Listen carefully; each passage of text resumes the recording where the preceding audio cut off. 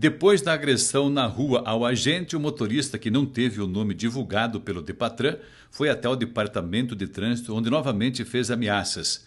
De acordo com Franciele Catusso Tamanho, chefe do setor de controle e fiscalização, a atitude do usuário, que já tem mais de 5 mil reais em multas, é recorrente. Essa pessoa, né, ela já vem causando é, um sério problema para nós há muito tempo, né? Já teve problema com 90% dos meus agentes, mas a gente sempre busca resolver a situação, né, da melhor forma possível aqui internamente, né?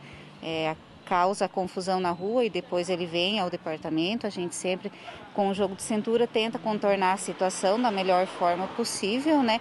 para não gerar mais transtornos, né, tanto à família quanto aos agentes, à população em si. No Depatrão, o homem sempre alega perseguição, porém, segundo Franciele, seu histórico prova o contrário. As multas são diversas em diversos locais da cidade, né? Sempre assim, é, realmente não tem é, defesa. Estacionar em guia rebaixada, em cima de faixa de pedestre, né? Ou não uso do cinto de segurança. Então são coisas que os nossos agentes, eles estão aí para trazer segurança e organizar o trânsito da nossa cidade. Estão fazendo o papel deles, né? A gente ofereceu, sempre oferece, em todas as, as vezes que ele vem ao departamento, oferecemos a opção da, é, dele se defender também, né, daquela autuação. Ajudamos ele a fazer a defesa da autuação, né?